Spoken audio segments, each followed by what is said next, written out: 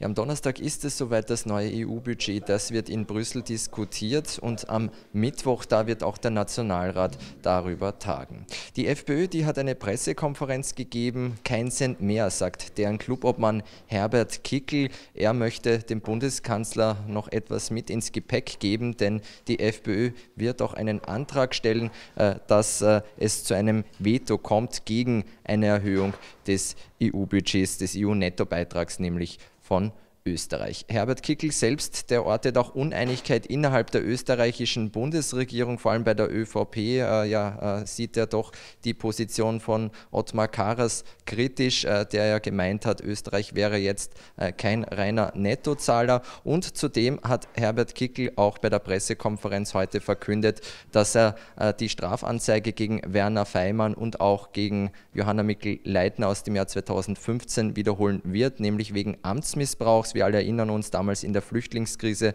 hat die FPÖ schon damals eine Strafanzeige gestellt, äh, wegen Unterlassung des Vollzugs des Fremdenpolizeigesetzes, wie Kickl auch ausgeführt hat. Und diesmal will man äh, gegen den ehemaligen Bundeskanzler Feimann und die ehemalige Innenministerin Mikl Leitner das Ganze wiederholen und auch einige Mitarbeiter der ÖBB, die sich aus Sicht der FPÖ hier äh, strafbar gemacht haben, soll diese Anzeige weitergehen. Wir sind sehr gespannt, wie es weitergeht und mit diesen Informationen wieder zurück ins Studio.